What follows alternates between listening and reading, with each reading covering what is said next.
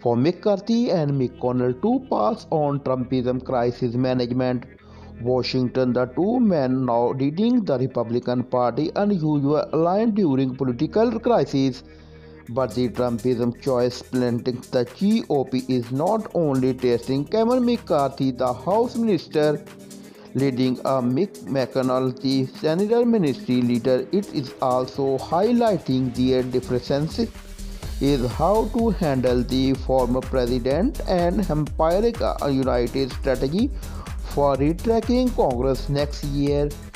A 24 hour period this past week, Mr. McCarthy challenged in a conference call on Wednesday he instructed House Republicans to cut the crap according to two officials who participated while he did not specify what he had in mind there were plenty of options from uh, Republicans trying to punish Representative Liz Cheney for voting to impeach former President Donald J. Trump to the extremism of Representative Marjorie Taylor Greene, a contributor who paper trial of conference conspiracy managing keep growing.